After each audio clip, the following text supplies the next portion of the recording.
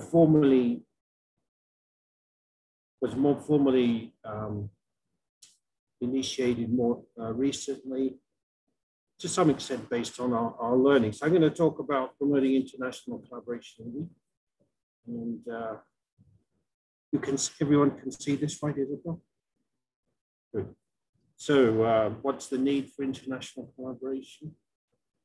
And uh, then I'll talk about the IWIN, which is in fact a very successful network that's been around for as long as CIMMYT has.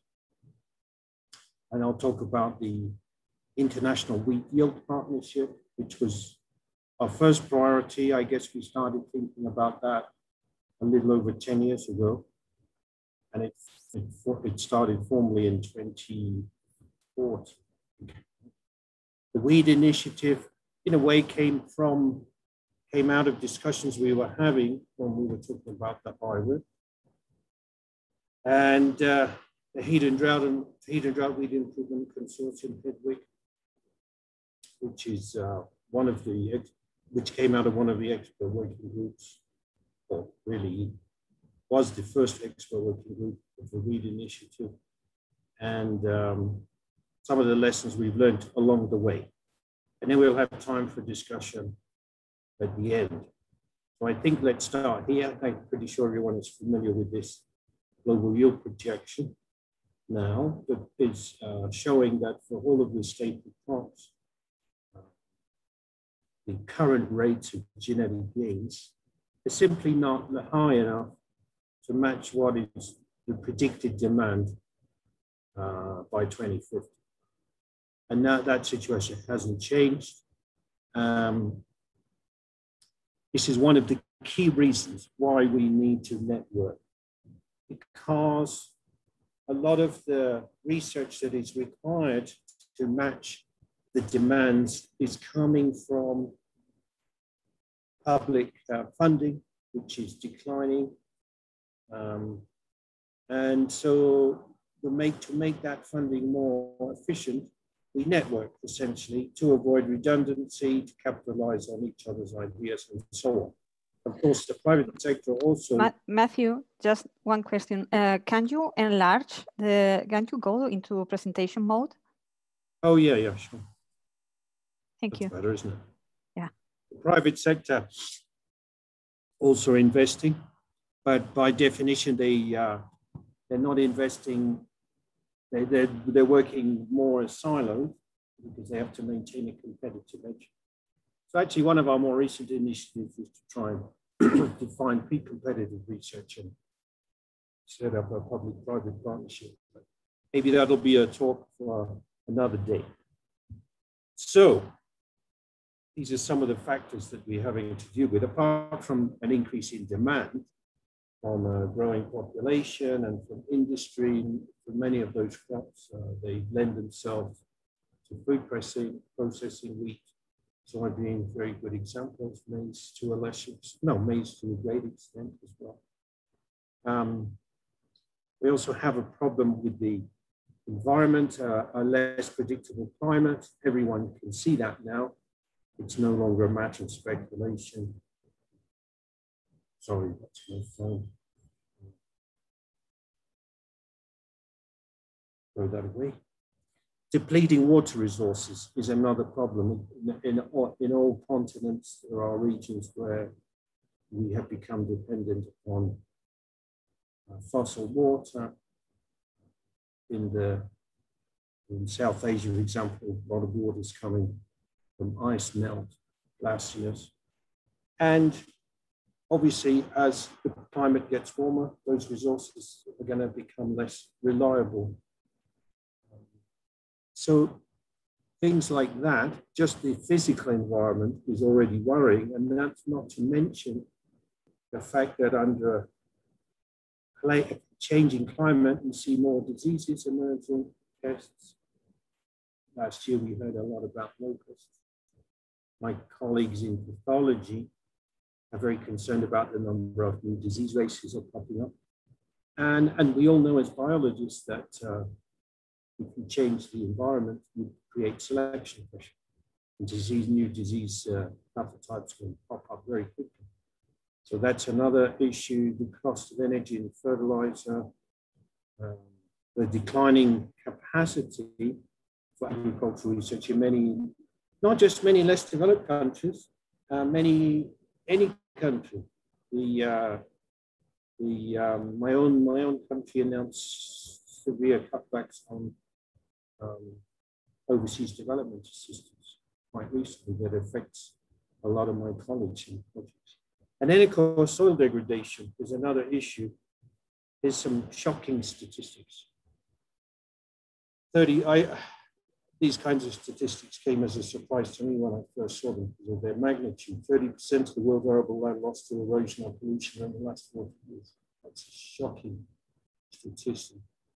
Um, and when you use plows, which I guess most farming is still using plows, the erosion rates are 10, anything from 10 to 100 times greater than, than just with, with rain, rain, of course, with rainfall. And of course, I think we all know that just to develop an, an inch of topsoil can take half a millennium. So these are very serious issues. And so the, these are among the many reasons why it's important for us as agricultural scientists to try to work together. And that's the theme really here about networking. How can we how can we develop networks and how can we do it more effectively and how can we convince funders to respect that? Um, many, many times funding is, is dedicated to a, um, to a national program, which uh, does not help with an international effort. And since most of the agricultural problems don't respect national boundaries, pathogens don't, uh, you get heat stress and drought stress, and issues of improving productivity in any continent, in any in, in any in any continent, you can see all these stresses. Uh, in some ways, the way we fund research um, impedes our ability to collaborate. It's, it's not it's not we can overcome that. And in the case of the IWYP, the International Yield Partnership, we did with HeDWIC, we struggled a bit more. But uh, we need to be thinking of agriculture in a global context uh, if we're to approach those problems in a more efficient way. And here's some other statistics just to show you that, uh, that uh, although we've made inroads, the situation internationally, especially in terms of poverty, is not as great as, as we would like it to be, or as sometimes we say it is. For example, there are more, if you look at uh, percentages, um, things look good, but if you look at it, absolute numbers, they're not as great as, as we would like them to be. Okay, these data are few years old now, I think four years old, but still things haven't changed that much in the last uh, three or four years. Uh, today, there are more hungry people than the entire population of South Asia at the beginning of the Green Revolution. Number of people living on less than $2 a day is the same as in 1981. That's uh, almost a billion people. And if we look at uh, malnourishment of children in Africa, say, there's still a very, very serious problem with 180 million people at least, children under five years being malnourished. So these are the, some of the kinds of problems. Networking is, networking can be fun, but that's not why we do it. Networking is, is really about stretching more impact from limited resources. That's the name of the, the bottom line, as well as being able to um, to share good ideas to solve very uh, serious problems for our society. Um, the, if there's any doubt about the importance of investment in agriculture per se, this study from 2007 showed how investments in, in agriculture compared with non-agricultural investments have a disproportionately beneficial effect on the poorest of, of, of, of people, the poorest 10% of, of uh, people in the world pretty much are benefited most by investment from agriculture and hardly at all by other growth in the non-agricultural sector. And that's still true when you're looking at uh, even up to 30% poorest people in the, on the planet. It's agriculture that gets people out of poverty, in other words, or has the potential to do so. So let's move from those generalities to wheat, say. So wheat is a, this, this, this map shows you the ranking of calories coming from wheat across the world. And most of the world is red in this picture, which shows that wheat is the number one source of calories, but there are many important countries where it's number two, uh, particularly South and East Asia, Mexico. And you can see from this graph, uh, it's clear that uh, it's no surprise that 20% of all calories in the human diet are coming from wheat, the one fifth of all calories.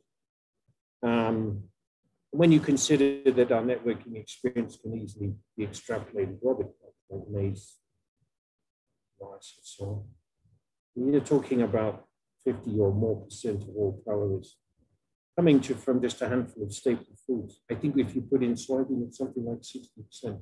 Wheat is also interesting in the fact that 20% um, of all human protein also. You put a protein map up, like instead of I had one, I just put it in. Similar picture, 20% of all proteins coming from, from wheat too.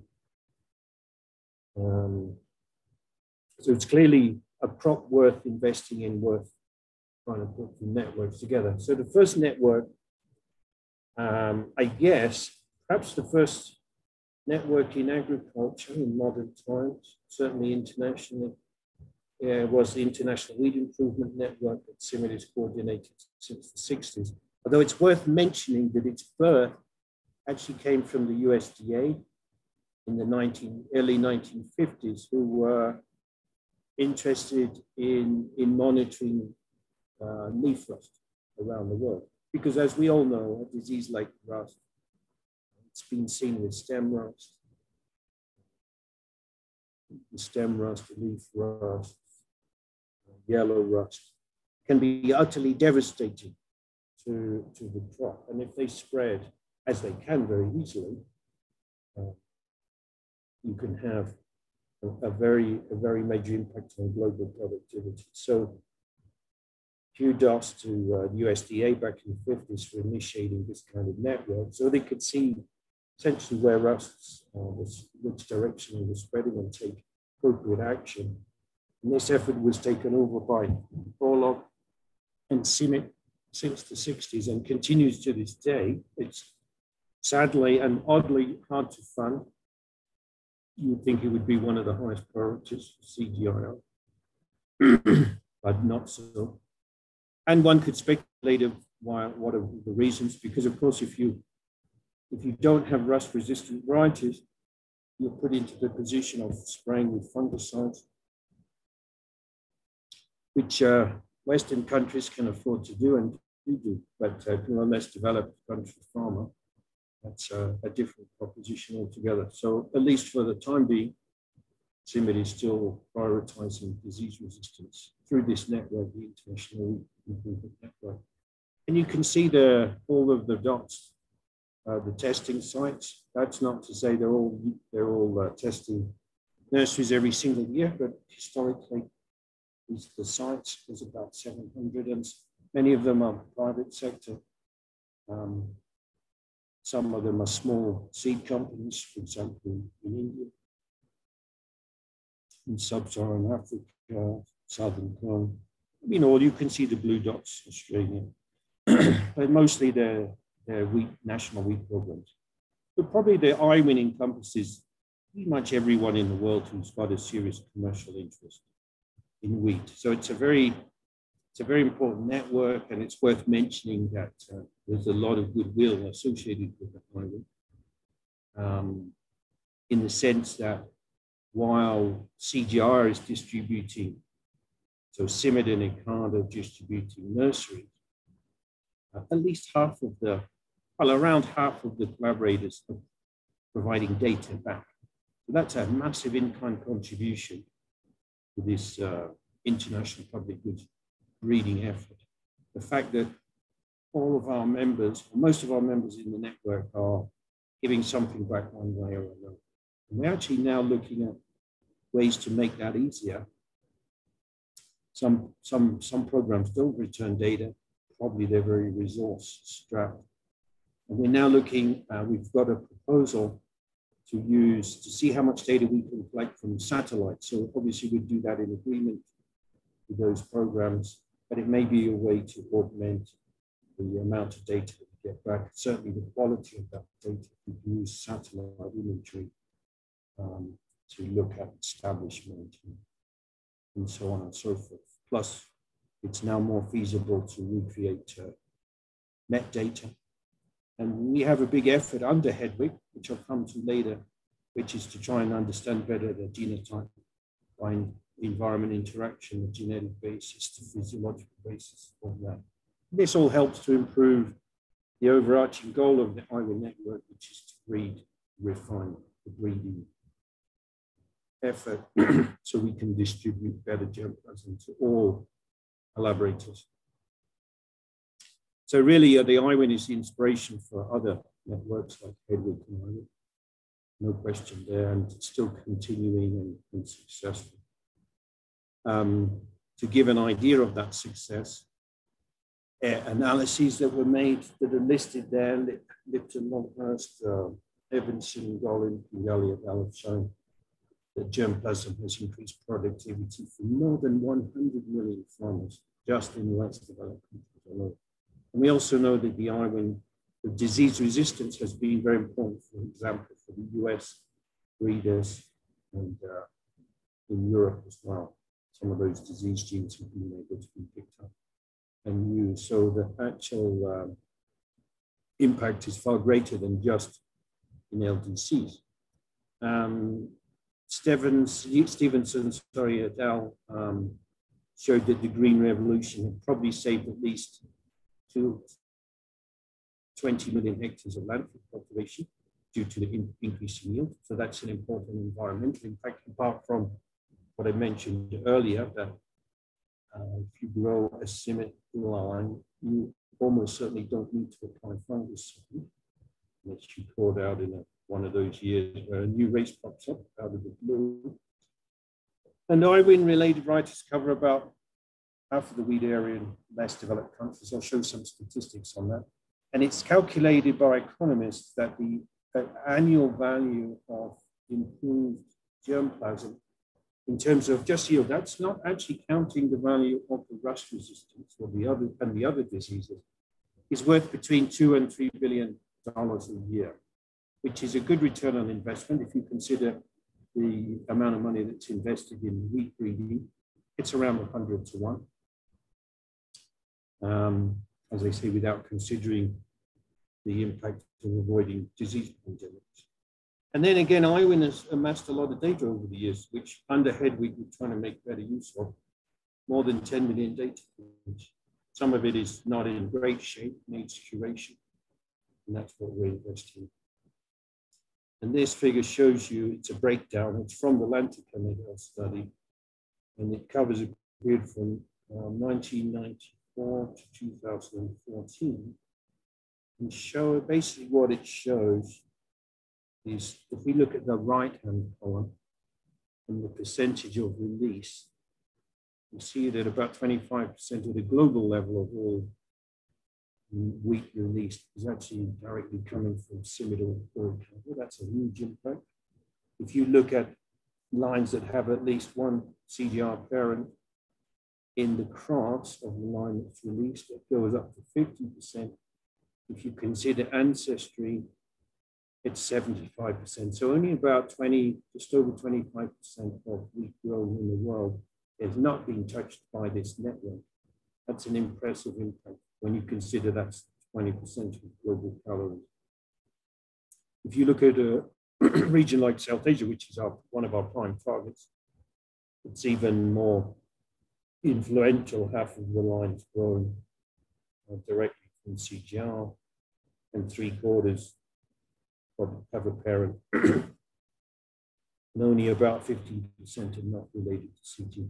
And of course, there's a lot of rhetoric around this some some are some funders argue that that's too big an impact. And it's, it's creating dependence.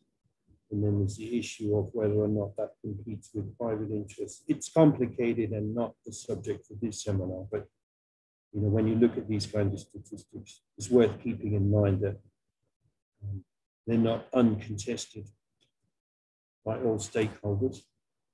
So let's move on to IWYP. I think we first at CIMMYT, I think it was when the one of the new iterations of, of CGIAR started.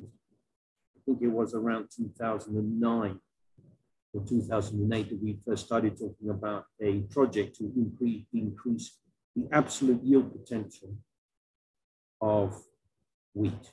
So in other words, push wheat up to its biological limits. And if you make a project as ambitious as that, my former boss, Hans Braun, used to say, well, going to the moon was easier than raising uh, crop to uh, its biological limits. And you think about the, the kind of science involved, it's, uh, it's not as straightforward as, as Newtonian mechanics, that is true. Um, there are many gray areas, there are many black boxes. You know, we actually are guessing, but there is also information that we can use. And so the point of the IWYP and its predecessor, the I, what do we call that, the Wheat Yield Consortium, um, was really to pull together expertise globally with the people who are really thinking about how to improve your potential. And of course, when you do that, you realize that, as you would expect, we all have our academic training, so we don't look at the whole picture. That's the job of a network, is to bring the whole picture together. We, we're looking at experts, we found experts, we knew experts in photosynthesis, in partitioning, root biology, etc., genetics. And so the point of IBRIC, and very much a model that we use for HeDWIC too, is to bring in the interests, bring together the interests of different groups and see how we can work together, see how we can raise funds together, and see how we, our ideas or our approaches for raising genetic yield potential are actually complementary. Um, and because if you can do things together at the same time, you're more likely to have an impact in, in the short to medium term than if you're all working individually. Let me give you an example. Let's say we raise the yield potential, this is hypothetical, but if we raise the yield potential of wheat 50%, as was our goal, you're going to have these plants with a very heavy spike. And of course, one of the biggest uh, limitations would then be structural failure or lodging. And the plant would collapse. And then you're back to the drawing board. So we have, we pushed that, uh, let's look at, or another example, you raise the radiation efficiency 50% and you have all this extra biomass, but not all of it's going to the grain. So we can't just look at photosynthesis and, and ignore lodging and ignore partition, etc. Or you may have a, a uh, photosynthetic potential in the leaves, but it's not matched by a vascular system that delivers water and nutrients. There are many angles where, although it's it's part of science to be reductionist and to focus on the problem to push that with the uh, knowledge frontier forward if it, when it comes to application, and wheat reading is application, and uh, making sure that, that those genetic gains are achieved in farmers' fields. You need many disciplines working together to make sure that all of your research strands are just to as far as far as one as possible are harmonious. So I started with these ideas, same same as the, one of the first graphs. There's a big problem out there, big challenge. That's how we solve, solve the idea that there's a crisis on the horizon. You know, for example, BBSRC from my own government were concerned um, to see countries uh, in, in and around uh, North Africa and the Middle East become more self-sufficient in because of course there is a, an issue with migration, and that issue is not going away. And whatever your view is on the issue of migration and taking people, I think we can all agree that it's ideal that the countries where people are fleeing from would have food self-sufficiency if it's all possible. And at least that way people could choose. If or at least that's not a factor in, in migration. So um, as I say, the stated goal was to raise yield potential by 2035. That date is looks a bit scarily close compared with when we first started talking about these ideas. But we have made some gains, not 50%, but some quite promising gains we're seeing up to almost 10. And let's see with the research coming down the pipe, pipeline, what we can achieve by 2035. I would be very happy with 50% perhaps that it's one needs an ambitious goal when, when setting up these kinds of initiatives. There's no question. And uh, 100% would be ridiculous and probably defy biophysical principles. 50%, let's see.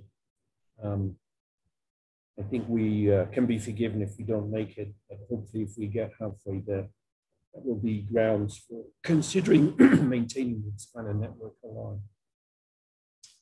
Um, and I, I, covered most of these points, combining best ideas and uh, internationally uh, making breakthroughs, but focusing on delivery, focusing on demand.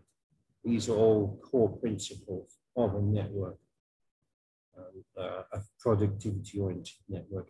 And you can see this graph, this uh, figure rather shows nicely some of the ideas going to improving your potential. It's not just about energy use efficiency. That's another way of saying respiration, photosynthesis, biomass. It's also harvest index, grain size, spike fertility. You've got to consider the phenology, not just from point of view of yield potential, but a point of view of control, experimental control, canopy architecture. And then we're always looking for better uh, phenotyping protocols, but also markers uh, that we can use, genetic markers that we can use so that uh, some of the more, especially for the more difficult to phenotype traits, very important. Not easy, because as, as all of us know, complex traits, genetically complex traits, markers are slippery as hell. So we need a greater and greater knowledge base in order to make use of the marker to know in which environments, excuse me, and which genetic backgrounds of marker will be useful and which combinations of markers. And of course, one of the goals of IWYP is it's not just focusing on a single trait. As you can see from this diagram, there are many traits to juggle. And if each of these has many QTLs associated with, that's a lot of markers and how do they interact. Could there be antagonism? This is one of the benefits of looking at the genetic basis. You can actually find those kinds of um, hypotheses, you can get information on those kinds of hypotheses about traits that interact or have trade-offs or are even antagonistic. You can use markers to show that. But you also hope that the markers can help you actually make selections. So that's the key, the key element of, of uh, this network. You also, when you have a network, you kind of need a tip of the spear. You need a body or a hub that brings things together, not just from the point of view of coordination, but also bringing the technology together in terms of delivery. So for Spring Wheat, we've, we've been working at the hub for five, more than five years now, delivering nurseries. And bringing people who are involved in the wider network to work on relevant germplasm or taking their germplasm and planting it and validating it or taking their selection methodologies. And very often both um, people developing methodologies, bringing them to the hub. So we have a common reference point, which are these kinds of panels that we know are relevant because they are based on the most current germplasm coming from the breeders. So these are all the kinds of activities we're conducting at the farm, trait validation, precision phenotyping, field evaluation. The, the strategic crossing designed to stack physiological traits um, in order to boost your potential. So a lot of it is um, based on hypothesis and uh, finding sources, novel sources of these traits and combining them with two, sometimes three-way crossing. And some of those crosses work and some don't. So we try to understand what is the physiological and genetic basis when we do see transgressive segregation, which traits are contributing more. And of course, as I said earlier, it's not straightforward. We're, with the work in, in breeding know that um, one can have a lot of interactions uh, that make that, that work slow, let's say. But um, again, that's exactly why you need a network. You need many, many heads thinking about these problems. Because if it was straightforward, we'd solved it all some time ago, probably. This is the more restricted uh, network of sites that are growing the, the wicked trial. Um, obviously, when distributing more refined germplasm, there's a greater demand, uh, or at least initially, than when you're distributing pre-breeding material, which may be a bit taller, a bit less amenable to certainly less amenable to risk. But having said that, the demand for all these nurseries are, is now almost the same as the demand for the finished breeding nurseries, which is very encouraging because it means we've met one of our objectives, which is to encourage uh, the breeding companies and the national wheat breeding programs to actually be um, making more crosses involving this kind of material that we're developing, which is genetically diverse. We're using a lot of land races that have shown promising physiological traits. We're using synthetics. These are new genomes derived from interspecific hybridization for specific traits like radiation insufficiency, etc. So we're putting those traits into good backgrounds. People are picking up and crossing which is very good news. Um, this is just an overview. I don't think we need to dwell on this. It gives you an idea of the kind of budget you need, I suppose, for a big project. Um, the target was 100 million, and it shows you this graph is kind of showing you uh, it's a that figure would be higher now. It's uh, four years ago, three years ago but uh, more or less how the money was coming from and where, where it went. So we had a first call, a second call, we had a call involving USDA called NIFA. And the hub takes some money and the program coordination. So yeah, you can get into some, it's a bit complicated with the finances, not my expertise, you'd have to ask someone else to talk about that, but certainly an important consideration when you arm a big a big uh, network, you've got to have good governance. That's essential. Um, and uh, that governance helps you to maintain the interest from funders because they feel more confident when they um, when they see that uh, there is um, rigor in the way that uh, the whole the whole network is administered. These are some of the entities associated with funding on the public side, and, but also some contributions from the private sector, which make this a, a, a, an interesting initiative. Wheat Initiative, in some ways, was born out of this exercise we had um, of developing the Wheat Yield Consortium or International Wheat Yield Partnership. Some of the people involved realized that this exercise was not just good for your potential, but good for a whole lot of other things. And so the Wheat Initiative was born. Um, abiotic stresses as well as your potential. So HeDWIC, control of pathogens, durum as a focus, um, germplasm conservation, quality, nitrogen use efficiency, agronomy, breeding methods, wheat information systems, wheat phenotyping to support wheat improvements with the phenotyping expert working group, and of course modeling. So although these are not, um, we couldn't argue that Wheat Initiative is funding these expert working groups to conduct research, it is funding them to, to, to have certain, let's say to have a community of practice. And that is a starting point for developing a more active um, research network for any of those areas. And some of those networks have brought in their own funding. I think the agronomy is a good example. And uh, maybe others. You can, perhaps the audience can correct me on that. Let's go now lastly to HeDWIC then. So this was prioritized by the Wheat Initiative uh, five years ago. And uh, it wasn't easy at first to get support for this. And luckily, a couple of years ago, and I don't know why. I mean, this, this, this seminar is really intended to help people uh, or share our experience of putting together um, major initiatives. And of course, funding is always the hardest step, and uh, it can take a long time. And it's unpredictable.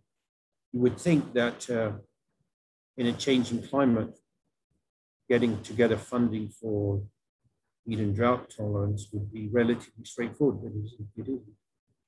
And one of the reasons I think is that I think through the experience of IWYP in particular, it became aware, it became obvious that it was not very, it was not nearly as easy as individuals, individuals had thought due to national constitutions and so on, to actually share funding in a common pot.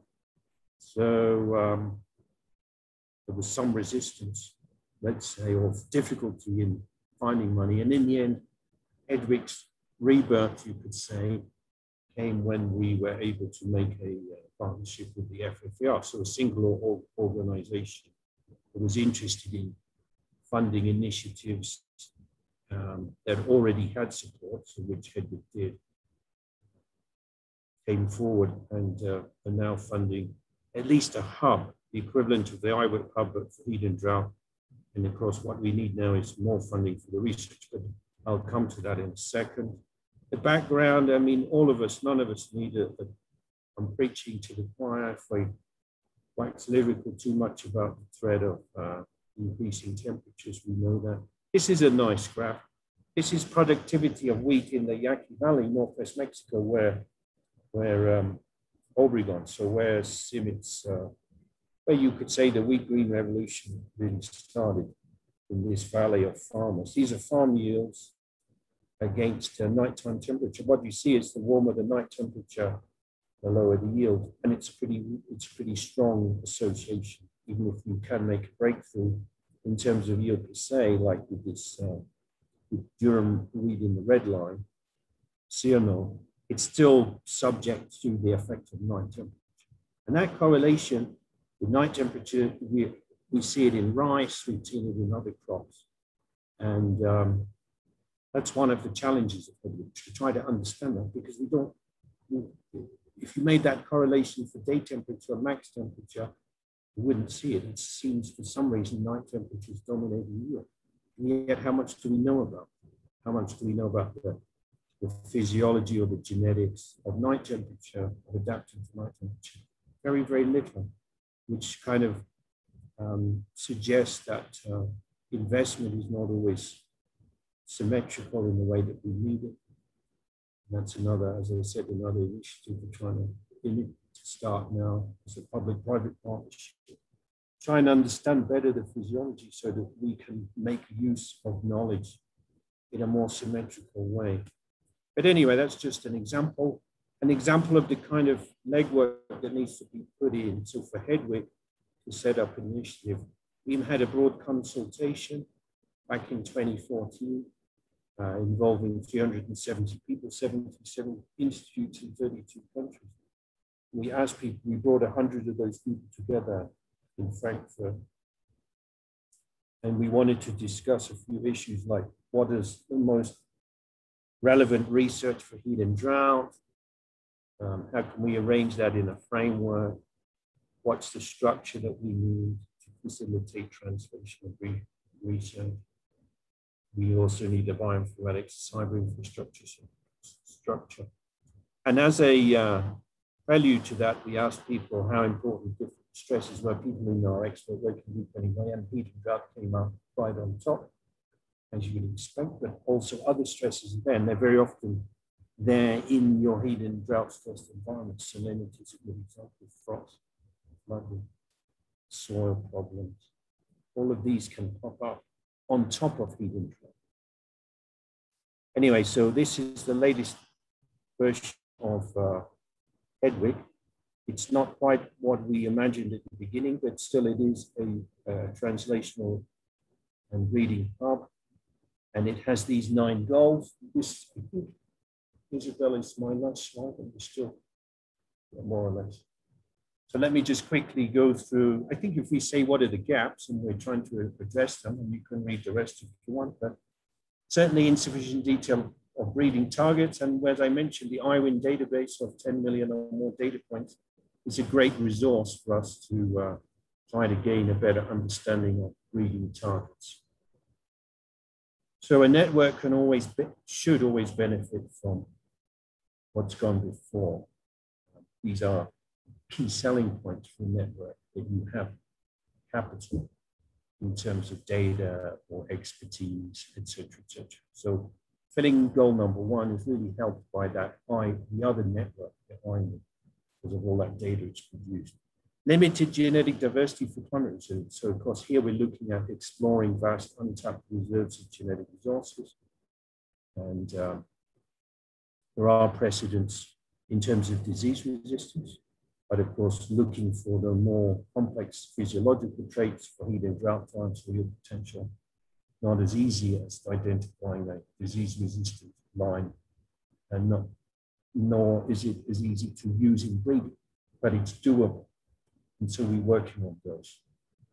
More comprehensive phenomic tools that relates directly to the previous goal in the sense that uh, genetic resources often are less controlled plant types, so you need to be innovative when it comes to phenotype um, limited understanding of genetic basis. We all we're all aware of the of the optimism at the beginning of the gene revolution. Some of it has been realized for less or for simply inherited traits, but for complex traits we're still struggling. So we need better understanding.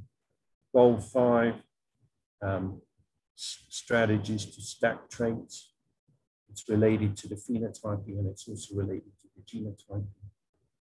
Uh, goal six, insufficient genetic gains. That's very much a breeding oriented goal, and that one is uh, mostly funded by the Accelerating Genetic Gains Project. It's funded via UK and Bill and Melinda Gates Foundation. And then goal seven is a scale out. So that's where I went, the network of IWIN comes back in. And uh, we rely on that massive income contribution from our huge network of wheat breeders. Um, and so one of the one of the, one of the goals that we introduced into this project was was crowdsourcing. So while IWYP has a big budget for funding research per se, uh, the way we set up HeDWIC, again restricted by the funding opportunity that was available, we decided to make some of the money for the hub available in a crowdsourcing context, to get ideas. So we actually uh, looking for inputs from former collaborators or new collaborators on how we can boost technologies to overcome hidden drought. And we would like that part to be expanded through the through the AHEAD initiative, which is now the umbrella organization under Wheat initiative to to consider uh, to consider the issue of heat and drought. Um, in a, in a broader context than just spring wheat. And goal nine is basically about capacity building. So all of these goals feed into that. And these, this is the current network for HIPIC, so representing a lot of countries. And as I said, this is the AHEAD initiative, which uh, considers HeDWIC part of part of the overall effort to um, global effort to coordinate drought research.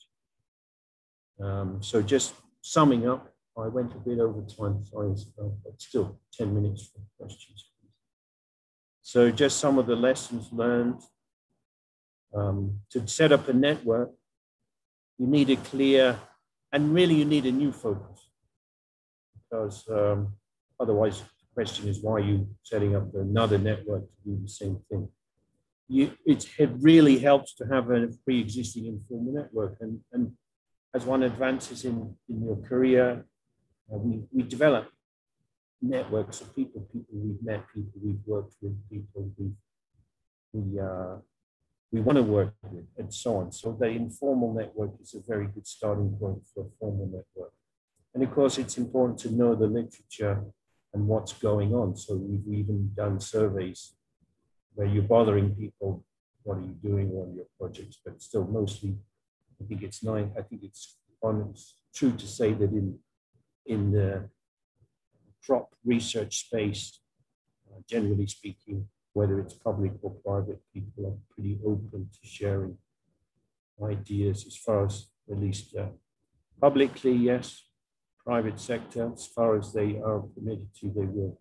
It's still very collegial, and um, that's very key to establishing a network, goodwill, you could call it. It's good to develop a, pro a proposal before you have a funder in place, but don't overly prescribe because the funder likes to have a say in what's done. And that's fair enough. Um, as we say in English, he who pays the piper calls the tune, and we must respect that. Uh, or it's important not to get too specific, otherwise you may get disappointed. You need a theory of change. That's uh, how's what you're planning to do going to change the, the uh, create outputs and, and create outcomes as well. You need a business case. And you need to do a lot of legwork. And that could be in lots of forms. You know, everything above requires legwork, legwork but also convincing the right people, meeting the right, right people, building bridges to the people who can, in funding organizations or organizations that can convince, convince their governments. That all requires a immense amount of work, and I have to give a lot of credit. We have to give a lot of credit to people um, in BBSRC, for example, USAID, people at CIMMYT, my boss, Hans Braun, people who helped us do that legwork.